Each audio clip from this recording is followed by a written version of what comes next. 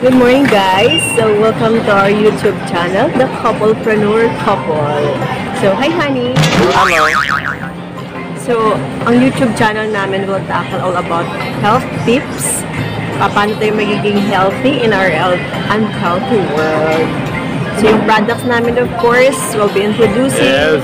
Intra, Nutria, Fiber Life, and Cardio Life. Yes. So what's out guys sa iba-ibang mga klaseng sakit na natulungan ng products namin. And I'm sure some of you can relate para sa iyong mga personal health and wellness.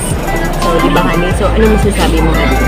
So, masasabi ko lang sa mga hindi pa nag-subscribe, mag-subscribe na kayo, like, share, and watch. Ay, eh. Subscribe nyo naman ang channel namin. Maawa naman kayo.